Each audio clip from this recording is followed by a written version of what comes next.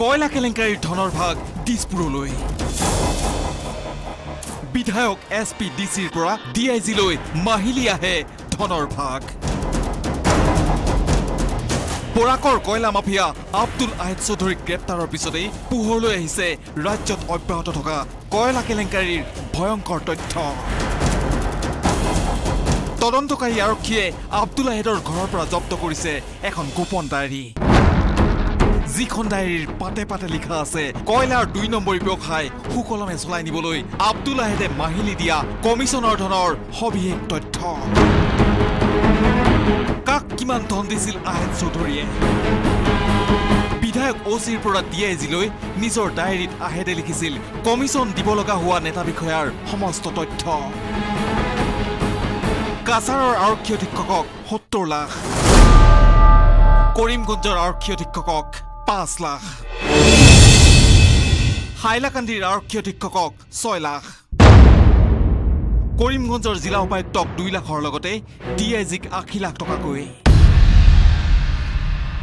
জিলা উপায়ুক্ত আৰু আৰক্ষী অধীক্ষকক এই বৃহৎ পৰিমাণৰ ধন দিয়াৰ বিপৰীতে বৰাকৰ তিনি বিধায়কক দহ লাখকৈ দিছিল কয়লা মাফিয়া আহেদ চৌধুৰীয়ে।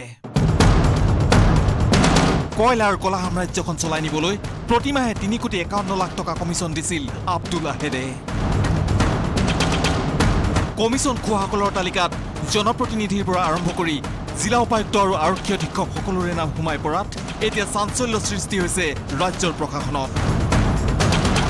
তাৎক্ষণিক প্ৰতিক্ৰিয়া প্ৰকাশ কৰি ৰাজ্যৰ আৰক্ষী অধীক্ষক কুলধৰ শইকীয়াই ক'লে আচলতে যিখন কাগজৰ কথা কোৱা হৈছে ইনকুৱাৰী আমাৰ যেনেকৈ হ'ব পুলিচৰ ৰেইডতে ওলাইছে বা অন্যান্য ডিপাৰ্টমেণ্টৰ ৰেইডতো ওলাইছে ইনভেষ্টিগেশ্যন বা অনুসন্ধানত কিবা এটা প্ৰভাৱ পেলাব পাৰে। সেইকাৰণে মই ভাবোঁ যে গোটেইখিনি চাই ল'লে আৰু গোটেইখিনি ইনভেষ্টিগেশ্যনত যি যেনেধৰণে ওলাব সেই হিচাপে ব্যৱস্থা হ'ব। মুঠ সোতৰজন হাই প্ৰফাইল ব্যক্তিক মাহিলী এক বৃহৎ পৰিমাণৰ ধন কমিছন হিচাপে দিছিল কয়লা মাফিয়া আহেদ চৌধুৰীয়ে।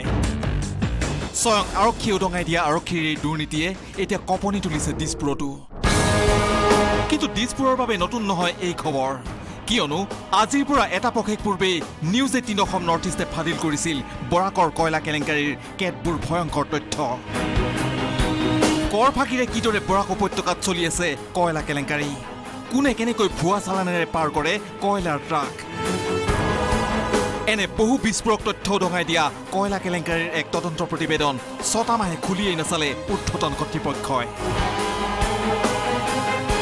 নিউজ এইটিন অসম নৰ্থ ইষ্টে উদঙাই দিছিল চৰকাৰৰ এই নিষ্ক্ৰিয়তা। মোৰ হাতত এয়া এটা তদন্তৰ প্ৰতিবেদন। মেঘালয়ৰ পৰা অসমলৈ অহা হাজাৰ হাজাৰ কয়লা টাৰ্কৰ কৰ ফাঁকিৰ তদন্তৰ প্ৰতিবেদন। যি প্ৰতিবেদনৰ পাতে পাতে আছে কয়লা সৰবৰাহৰ বাবদ কৰ ফাঁকিৰ পুংখানুপুংখ তথ্য। নিউজ এইটিনৰ হাতত আহি পৰিছে।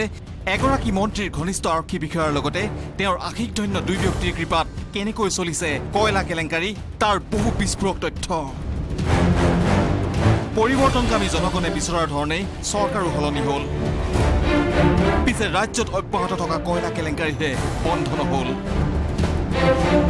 মুখ্যমন্ত্ৰী সৰ্বানন্দ সোণোৱালৰ দুৰ্নীতি বিৰোধী অভিযানক বুঢ়া আঙুলি দেখুৱাই ৰাজ্যত অবাধ গতিত চলি আছে কলা হীৰা কয়লাৰ কেলেংকাৰী।